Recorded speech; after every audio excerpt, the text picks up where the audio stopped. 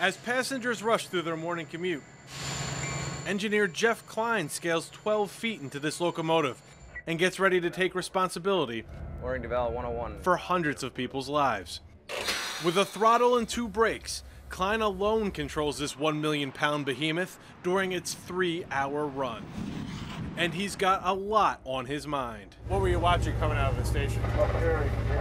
Signals, crossings, crossing protection, the gates, pedestrians, speedometer.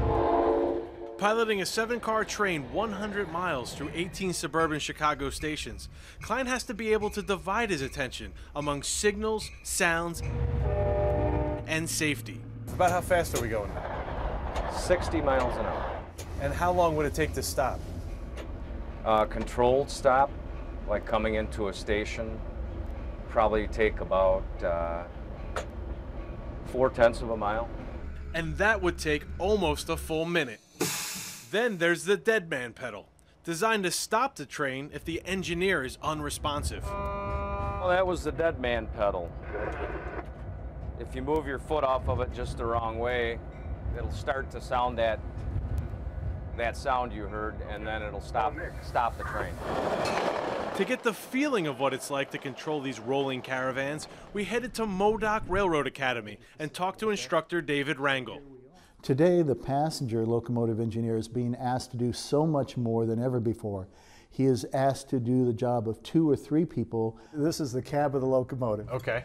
But there's something no amount of training can prepare an engineer for fatigue.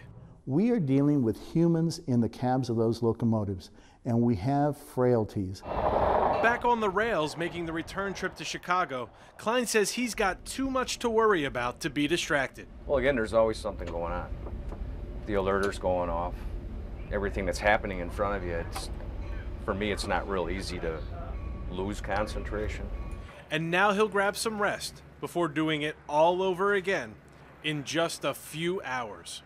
Every day, hundreds of engineers are traveling on thousands of miles of track. And driving a train is a lot like playing chess. You have to think several moves ahead, only you have to do it at 70 miles per hour. Chris Frates, CNN, Chicago.